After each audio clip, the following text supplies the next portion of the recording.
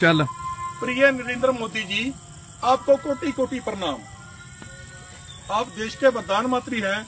हम आपको इतनी बताना चाहते हैं। जिला पंजाब है पंजाब है, जिला फतेहगढ़ साहब। आरा डंगरों ने हमको इतना दुखी किया हुआ है।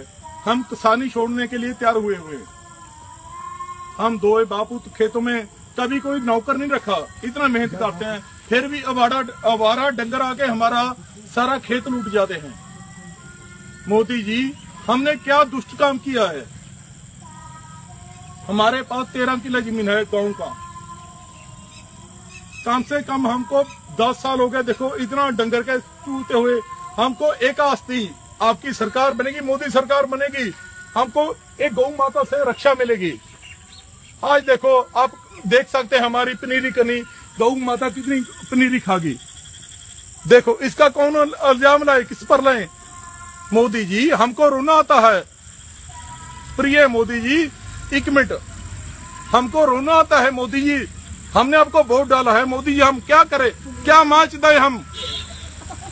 दसो, मोदी, एक गौ माता बना है। नहर है, हमारे बाखड़ा है। देखो। मोदी जी, प्रिय मोदी जी, हमने इसको चारा भी डाला है। काक भी डाला है, पानी भी पिलाया है। हमको क्या, कौन सी जगह पे भी दुष्ट मिल रहा है? हमने बीजेपी की सरकार बनाती पंजाब में। पहले तो हम डाई के लिए तड़फे, फिर हमारी कण गेहूँ गेहूँ नहीं बिका। अच्छे दिन आने माने क्या किया? ये तो गऊ के दिन आ गए मोदी जी। ये तो गऊ के दिन आ गए, पाप में।